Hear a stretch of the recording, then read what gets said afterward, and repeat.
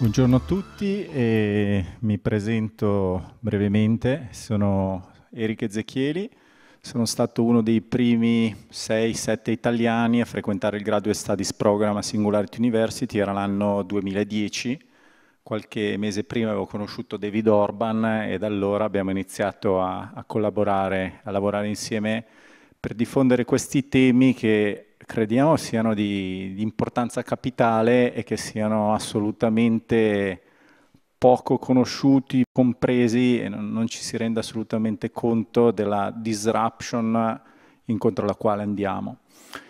E disruption in positivo e in negativo. E una delle cause principali di, di disruption a cui andiamo incontro è legata proprio al paradigma dominante di business. Quindi tutti sappiamo che dall'89, con la caduta del muro di Berlino, prima c'erano due modelli, c'era il modello comunista e il modello capitalista, dall'89 in poi ne è rimasto soltanto uno, come Highlander. No? E questo modello ha una caratteristica che è talmente forte, talmente consolidata, talmente pervasiva, che non si nomina neanche più, viene data assolutamente per scontata e immutabile e il modello capitalista viene considerato un po' il capolinea di un percorso di evoluzione. Quindi siamo arrivati qui, da qui in avanti no, non c'è più niente, è finito, un po' come l'uomo, no? cioè, vediamo un po' la specie umana come il capolinea di un percorso evolutivo. In realtà noi siamo stati qua pochissimi, pochissimi anni, pochissime centinaia di migliaia d'anni rispetto a una scala evolutiva di, di moltissimi milioni. Allora, faccio a tutti voi una domanda. Prima che ne parlasse David o di venire qui, quanti di voi per alzate di mano conoscevano le Benefit Corporation? Ok, un, direi un, un, quarto di voi, forse un po' di meno. Eh, dicevamo, è rimasto dall'89 in poi solo questo modello, un modello capitalista. Eh, chi mi sa dire qual è lo scopo di un'azienda nel modello capitalista? Profitto. L'azienda nel modello capitalista ha un solo e unico scopo, che è distribuire dividendi agli azionisti. Qualsiasi altro scopo non è contemplato, ma proprio addirittura è proibito per legge. Cioè il codice civile ti dice un'azienda ha questo scopo di distribuire dividendi in Italia, in tutto il resto del mondo una società di capitali ha come scopo quello di maximize shareholders value vi accorgete di cosa manca in questa equazione? Mancano le persone e manca la natura, manca il pianeta Terra. Quindi siccome la macchina funziona molto bene, la macchina capitalistica è assolutamente efficace ed efficiente, è quasi una forza geologica se ci pensate, perché riesce proprio a plasmare la, l'aspetto del pianeta, a plasmare anche il, la nostra cultura, il nostro modo di pensare, fa quello che deve fare in maniera molto efficace, ma se tu proietti in avanti quest'unico scopo, vi accorgete che alla fine vi rimane solo il profitto non rimangono né le persone né il pianeta. Ed è quello che sta accadendo oggi. Quindi se noi cominciamo a vedere il business come una tecnologia, ci accorgiamo che forse il cambiamento tecnologico, l'evoluzione tecnologica in assoluto più importante che dobbiamo portare è quella di trasformare nella sua essenza il concetto stesso di business. Se non lo facciamo, lo ripeto, non abbiamo molte speranze come umani.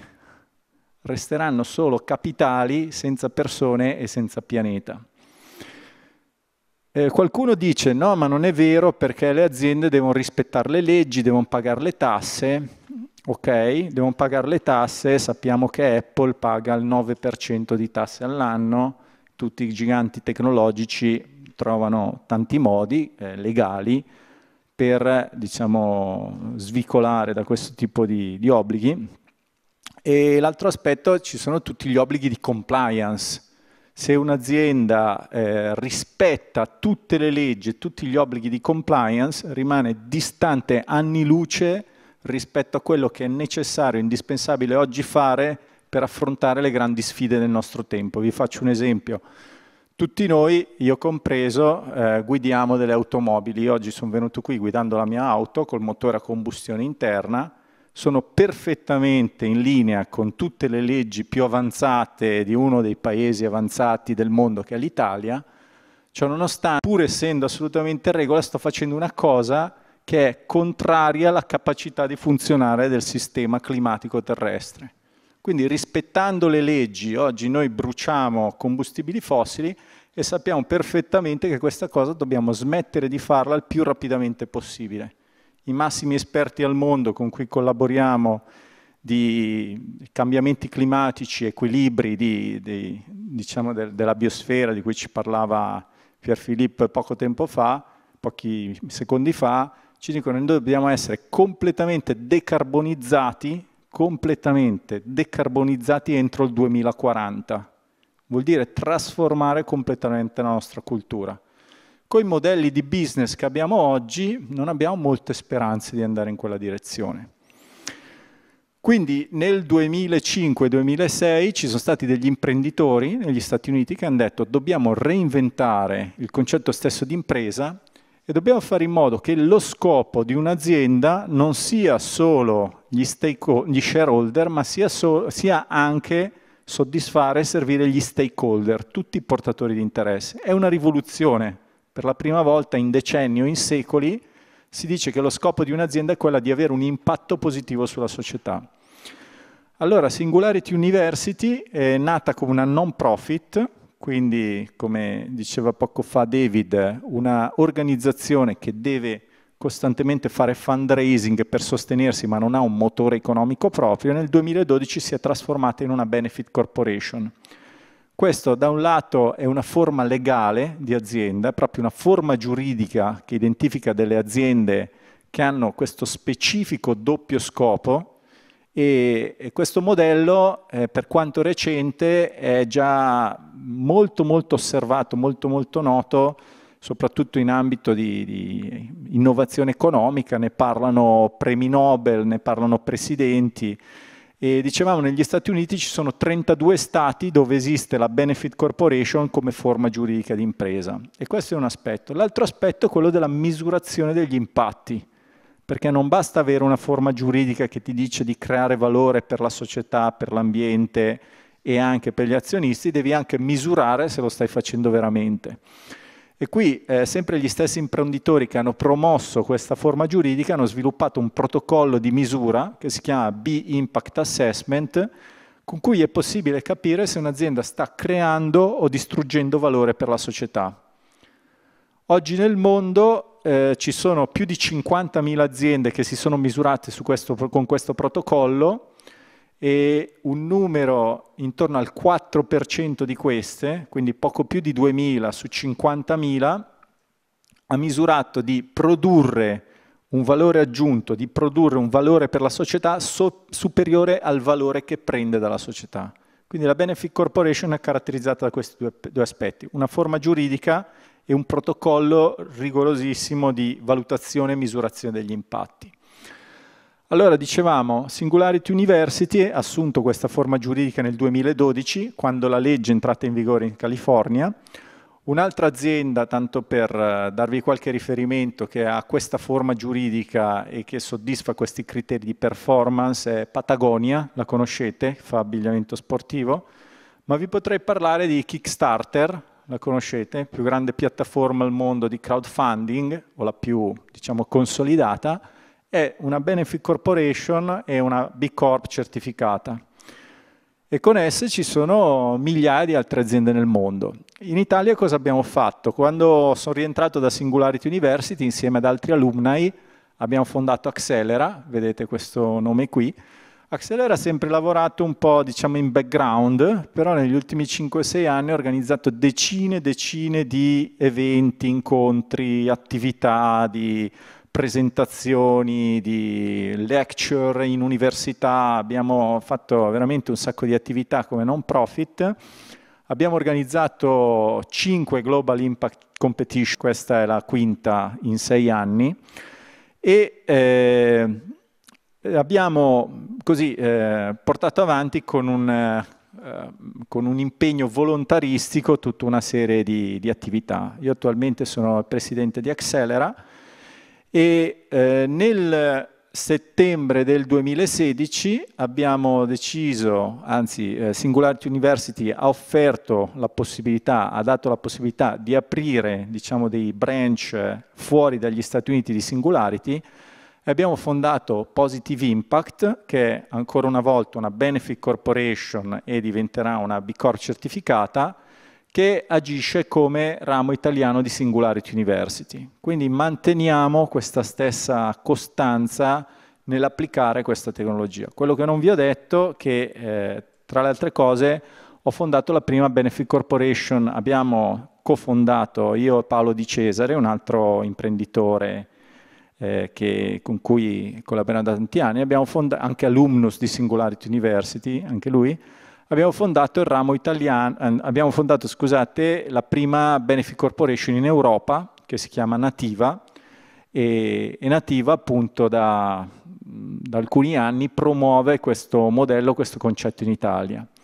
Con Nativa e le altre benefit corporation italiane abbiamo fatto un'azione, diciamo così, di lobbying, anche se il termine è un po' improprio, diciamo un'azione di promozione, che ha fatto sì che l'Italia nel 2016 abbia introdotto una legge che riconosce le benefit corporation, che si chiamano società benefit in Italia, andate a vedere il sito societabenefit.net, .net, lo sottolineo, e eh, l'Italia è diventata il primo paese al mondo fuori dagli Stati Uniti a riconoscere questa forma giuridica di impresa. Quindi in Italia oggi ci sono circa 150 aziende che hanno già assunto questa forma giuridica, c'è un interesse fortissimo dal mondo imprenditoriale, da grandi aziende, da multinazionali, da piccolissime imprese, da start-up, ci sono già una decina di start-up che si sono costituite come società benefit, c'è interesse di fondazioni, di incubatori, eh, università che insegnano e eh, diciamo in, la cosa interessante è che ci sono gli studenti che vanno dai professori nelle università e chiedono di fare le tesi sulle benefit corporation, società benefit. I professori più delle volte non sanno di cosa si tratti, invece sono gli studenti che spiegano ai professori questo tipo di innovazione, proprio perché rappresenta un salto di paradigma. E quindi siamo arrivati qui, direi... Ah, 5 minuti. Ma eh, non so, eh, farei... No, farei magari eh, sentire se c'è qualche domanda o che domande avete, perché non, eh, diciamo, fare monologhi così non è eh, particolarmente interessante, credo sia molto più interessante il dialogo. Luigi, una domanda. Grazie, volevo, eh, volevo, sapere che metodo di misurazione di impatto cioè, eh, potete avere essendo che i tipi di aziende sono così diversi. Cioè, cosa, qual, è, qual è, meglio formulata, qual è la razio che collega l'impatto fra mm, startup che fanno tante cose diverse? Sì, non si parla solo di start-up, si parla anche di aziende enti, che hanno... Infatti, la più grossa benefit corporation al mondo è un'azienda che fa education, si chiama Gruppo Laureate, che gestisce circa 200 campus universitari. Qua a Milano ci sono anche NABA ed Homos Academy a 64.000 dipendenti. Le più piccole hanno magari 2-3 dipendenti. Allora, il protocollo di misura degli impatti per capire se un'azienda crea o distrugge valore per la società in realtà è nato prima della forma giuridica, circa quattro anni prima, e sono stati questi imprenditori che vedevano, immaginavano questo nuovo modello, che hanno detto dobbiamo mettere insieme tutto lo scibile umano esistente su come misurare gli impatti di un'attività economica. Eh, questo lavoro ha richiesto un paio d'anni di, di, ricerca e di applicazione, è stato finanziato soprattutto da grosse fondazioni, eh, in primis la fondazione Rockefeller, e in tutto sono stati investiti ad oggi circa 30 milioni di dollari per sviluppare questo protocollo di misura. In realtà non è un unico protocollo, ma ce ne sono più di 100 diversi che vanno a benchmarkare una data realtà in base al settore di appartenenza in base alla dimensione, in base all'area geografica. E qui viene valutato tutto quello che fa un'azienda. Quindi impatti economici, produzione di valore, distribuzione di valore, impatti sulle comunità, impatti sull'ambiente, sui lavoratori, la governance e il modello di business. Quindi sono centinaia di parametri che vengono raccolti, vengono verificati, vengono validati, vengono processati in questo diciamo, database molto sofisticato e da tutta questa operazione di analisi viene fuori un numero che va da 0 a 200 punti e ti dice se un'azienda sta creando, distruggendo valore con una soglia di 80 punti su 200. Quindi quando l'azienda supera questi 80 punti vuol dire che sta creando più valore per la società di quanto ne distrugga. Ecco, vi dicevo, è abbastanza difficile arrivare a questi 80 punti perché circa il 4% di chi si è misurato è al di sopra degli 80 punti.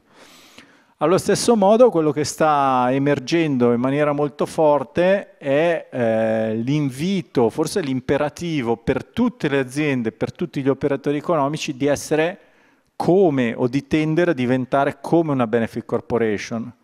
Quindi se oggi ci sembra ammissibile che un'azienda possa fare profitti eh, causando eventualmente dei danni alle persone o causando danni ambientali, eh, in futuro questo non ci sembrerà più ammissibile, anzi già oggi non ci sembra ammissibile, solo che magari non lo sappiamo. Quindi c'è una crescita esponenziale della trasparenza anche rispetto all'operato delle aziende e un giorno dire che un'azienda faceva profitti causando dei danni o inquinando ci sembrerà tanto folle quanto dire che un'azienda impiega degli schiavi. 200 anni fa era assolutamente normale dire che un'azienda aveva schiavi, oggi ci sembrerebbe una follia, esistono ancora, però non è considerato un business model, diciamo, particolarmente smart o, o particolarmente auspicabile, diciamo così.